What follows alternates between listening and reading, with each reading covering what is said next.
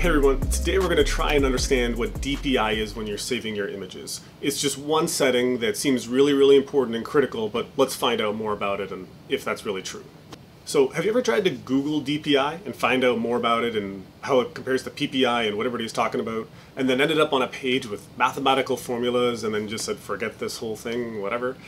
I did the same thing, so that's why I wanted to make this video, to just bring a relevant information package to enthusiast photographers of just what they need and leave the math to the scientists. So let's just talk about your camera first. Every camera has a pixel resolution, a maximum one, and every body is different. What they don't have is a DPI and PPI setting. Why? Because it doesn't matter. All that matters with an image is your pixel resolution. That equals quality and size. So why save this setting at all and why does it matter? Let's, let's dive right into that. The quickest, easiest answer is just save your images at 300 dpi. And the reason is silly. Printers. Because 300 dpi is not an image setting that matters for monitors or, or web. DPI is very relevant to printers because they want to make sure that your image is large enough to print. And 300 dpi just happens to be a very common dot per inch size that printers need for your photography. So why not automatically by default, start saving your high-res images at 300 dpi and just save yourself a whole headache. Let's admit that as technology changes, sometimes we don't do a great job of communicating most, the most relevant, up-to-date information, and DPI is just one of those things. Images do not have dots, yet everybody says DPI, yet every software uses PPI, but then why does your printer ask for DPI? So we're talking about the same thing, don't worry about the mathematical calculations. Let's just all agree that we're talking about the same thing and we will get to the right point, at least for enthusiast photography. Let's take a closer look at PPI. Here's an image of a printer that I recently visited, appropriate given the occasion.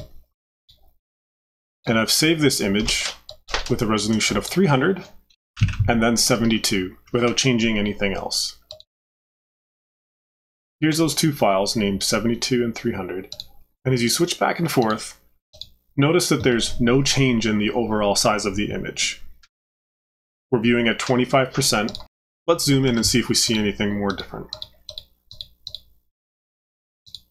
Still no change. At 300%, our image is exactly the same. Let's take a look at where these differ. If I go to image size and I look at the inches, 72 dpi produces 75 inches wide, and 300 produces an 18 inch image. So here we can see where the pixels per inch is starting to affect our image, not the quality, but how it's interpreted in inches to a printer when looking at overall size. Let's see what that looks like visually. I've gone ahead and made a one inch square on both images inches being the factor that changes here. And you could see how the square is changing as there's more information per inch in a 300 dpi image or PPI image, even though the overall pixels is no different. So we're just looking at a ratio, not the quality of the image. Since you know your image is high resolution, the printer just needs to know. One more thing to note is that if your printer sees something less than 300 or something that says 72 dpi, immediately it's going to set off red flags and warning signs all over their software because they're checking for it. That's their way of knowing if something is high res. Unfortunately, they're not checking the pixel resolution, which is the most important part. So let's just give them what they need. The flip side of this conversation is saving for web. Why do people say save 72 dpi for web and screen? When it doesn't matter. You know it doesn't matter. That said, I still recommend setting your web images at 72 dpi for one reason, so that you know they're the web images.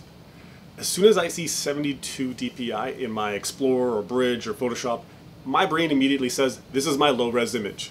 So you gotta remember to save those images at a lower pixel resolution. So when you start seeing 372 dpi all over your computer and files you're sending in and out, it's a good way to stay organized of what's going to the printer and what's going to web and never confusing the two. So that's it guys. I hope I cleared that up a little bit. There's so much more math and data behind it, but let's just keep it simple. Let's just get where we need to go and we'll grow into the more professional settings later on. If you enjoyed this and learned something, please hit like and subscribe. Visit demaninphotography.com or my Instagram for even more info. Bye for now.